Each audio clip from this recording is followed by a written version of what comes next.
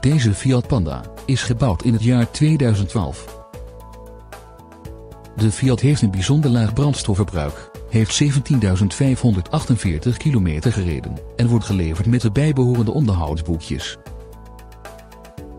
De compleet uitgeruste hatchback is voorzien van diverse veiligheidsopties. Denk hierbij aan ABS en gordijnairbags. De benzinemotor met milieuvriendelijk stop-and-go systeem wordt bediend met een handgeschakelde transmissie met vijf versnellingen. De auto beschikt onder andere over dakrails en buitenspiegels in carrosseriekleur. De Fiat is voorzien van vooruitverwarming, een bestuurderstoel met verstelbare zithoogte, een multifunctioneel stuurwiel, een neerklapbare achterbank en centrale deurvergrendeling met afstandsbediening.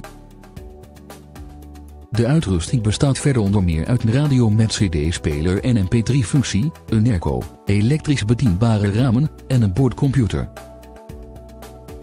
Als u nader wilt kennismaken met deze auto, die wordt geleverd met Nationale Autopas, komt u dan gerust vrijblijvend langs voor een proefrit.